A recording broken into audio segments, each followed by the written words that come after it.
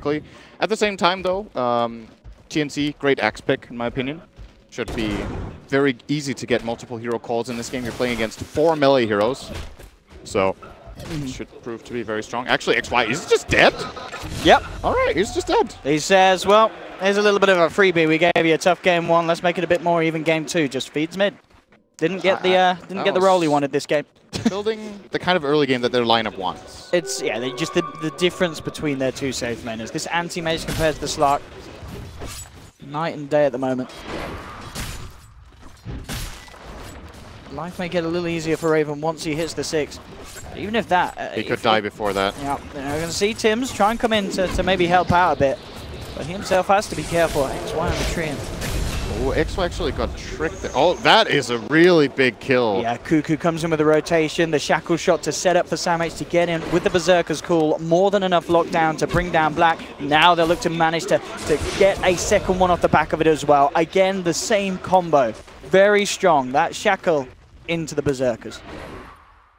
Managing to be step ahead of Faceless and excelling his teammates to exactly where they want to be, and they're going to look to utilize that straight away with this movement up towards the top lane. They want to catch Black off guard with this Blink Axe.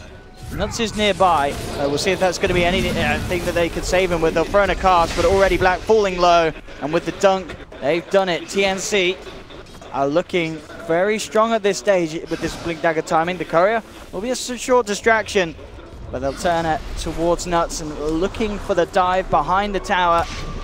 Nuts trying to juke his way out of this, but he gets shackled up.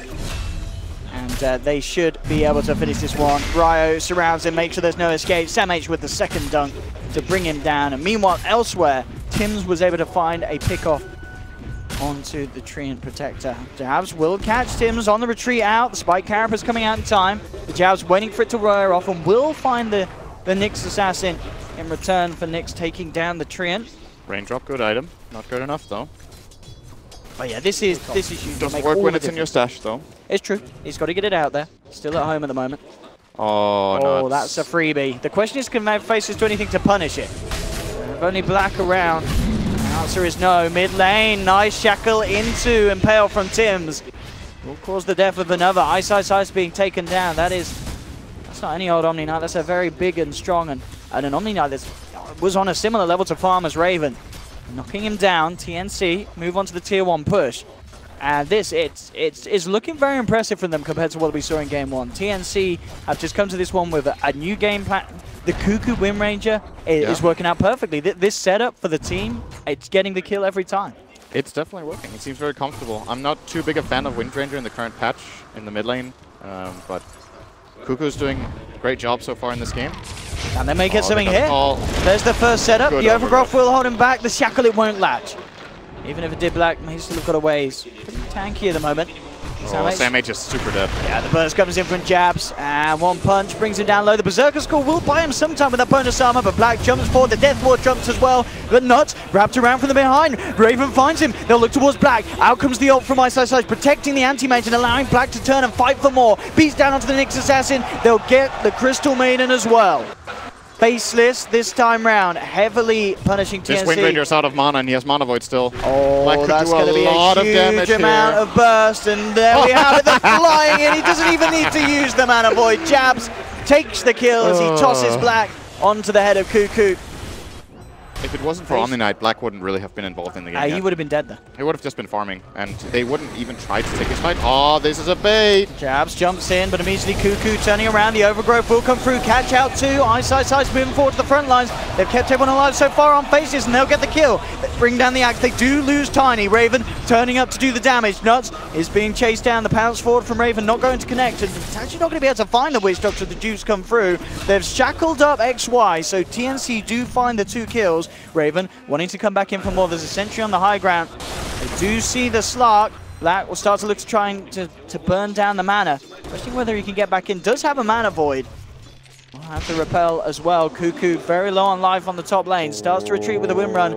We'll go for the TP out. Black's not going to jump for it. We'll stick to the farm.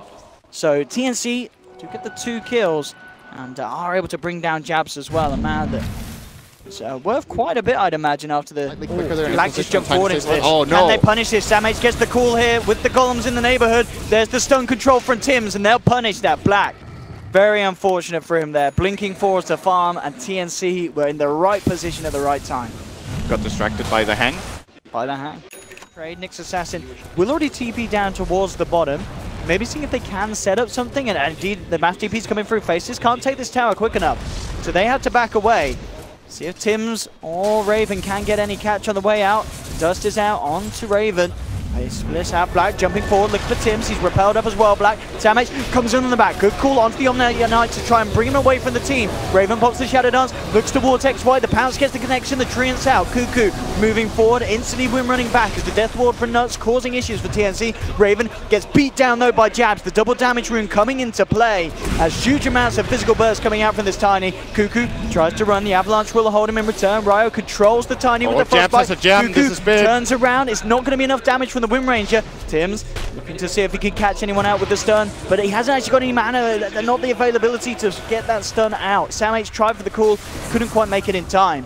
When I saw that X buyback, I thought he would be able to connect, but he did use his TP previously on the original play, so couldn't connect to the fight in time. That could have been really big if he was able to get to the fight. That's a gem that would have been lost by jabs. Certainly a little bit of a wake-up call for TNC that last fight down on the bottom. Black getting himself a healthy lead from Raven Slark. Nice, nice, nice. Has some good stuff coming out. There's going to be Guardian Greaves, and he is currently has a oh uh, Black just no, he didn't get out. Gets sandwiched here by four heroes. I don't know if that's a sandwich or not. Just, just gets. Oh, okay. They get more out of this. Bit chaotic. I mean, Kuku's looking towards Nuts, and Nuts I, he can't get any sort of escape. The Shackle's there for control, and TNC claim another. Are really seeing just how much damage that they can do, and especially with that Silver Edge uh, hit onto the Anti-Mage, he just melted with the, the Maelstrom procs, no sort of passive magic resistance for him once that touch comes through from the break. Now they're looking for more. Tims will actually get the first stun. Kuku gets a beautiful shackle off the creep. Jabs is going to come in and try and save them, but Samich is there with the cool control. Dunk down to bring down Ice Ice Ice. And again, TNC pulling together some more of that beautiful coordination we saw from them in the laning stage in the early ganks, and they get the fourth kill as well. They just follow through. Great catch. Kuku with some fantastic angles of the shackle shots. And TNC, they never stack they, their stuns. They always make sure that they control heroes for the maximum amount of times. And at this point of the game, it just guarantees them kill after kill. They'll move down the mid lane. 50 seconds with no tiny, no buyback available. Ice Ice Ice is still down for 20 oh, as good well. call. And again, TNC, they've got so many ways of initiating, and every time there's always someone behind each other to follow up. No This- one is left alone in the way that they jump in. This last minute for them was a complete disaster. They they lost the anti-mage, they lose additional heroes immediately after. They're just hemorrhaging kill after kill after kill, trying to help each other, dying again and and, look at this again. again. Look how deep, deep they dive, TNC. This may come back to hurt them, though. Immediate death towards drop from Nuts. They'll punish the jump in from Act. Black now looks towards Rio with the repel on Black. Should have a good job at chasing this one down. Will be held back for the time being by the Frostbite. Yeah, Black's he's not going to commit for it. No. Scared of the, there's still the potential that TNC can turn on him. So they will get at least the axe, but the melee racks. See a wrap around for TNC. Jump in, Tim- misses the stun. yeah, not going to get lead. And that's going to allow Ice to turn around with the Pearl Jabs. Comes in with the initial avalanche. Frostbite to hold back the Tiny Black. Leaves forward down to the low ground. Tims will be able to back up. Raven pots the BKB, starts to focus towards Jab. Samh with the cool control onto Black. Black falling low, tries to blink out, but Tims comes in with a beautiful three-man stun. Raven moves on for more. There will be the toss away off the slot, but Kuku stands his ground, brings down Jabs as well. Ryo keeping Nuts held back. He's earning down. They'll pick up the Witch Doctor as well here and Faces with a fantastic initiation. They're going to get the full team wipe. Kuku and Raven ended up chasing down another, and we're pretty much seeing exactly what we were building up to, Sin. The fact that those two BKBs made it so hard for Faces to do anything to TNC's two cores. Yeah, Faceless also had a very awkward fight here. They didn't get the Guardian Angel on the anti-mage. Uh, Black blinked in, following through the Tiny. They could have killed the Nyx right away, actually. Tiny used both his spells on the Nyx, but they didn't Mana Void him. Just seemed like a bit of miscommunication. Maybe some nerves showing here for Faceless. Doesn't look as crisp as in the first game. Obviously, this game is also closer. It's it's easier to look good in a game where you're stomping already. May have to try their best at this high ground defense. TNC looking to smoke up and get into the prime position. And maybe even wrap him through the middle lane and try and enter the base. Black coming forward. Kuku, can he get the um, opening stun? That's the question he doesn't need to. Sam H is going to be the one to initiate. Can the rest of Faceless save Black? Black will get the chance to put the Manta Star. Jabs jumped in the backlines, but the shackle from Kuku grabs Jabs. Jabs is out and down. The Tiny's dead for 88 seconds. They've lost Sam H. They need to do their best to Faceless. They're one massive man down. The stun comes through to XY. Raven survives, gets out just in the nick of time with the Silver Edge, and he may be ready to go back in. Two down on faces. Kuku jumps forward again with a focus fire, and this Maelstrom ripping nuts to pieces. Faceless forced back. XY will buy back in. But Kuku just doing so much damage. Jabs was just a free kill on the side of that fight. Sam H may have lost his life, but again, it's his plays that just kick off these fights that are definitely going TNC's way. And let's face it, can do something big to turn. They'll look towards Kuku, but again, the wind runs so strong against Faceless's lineup. No way that they can hit through it.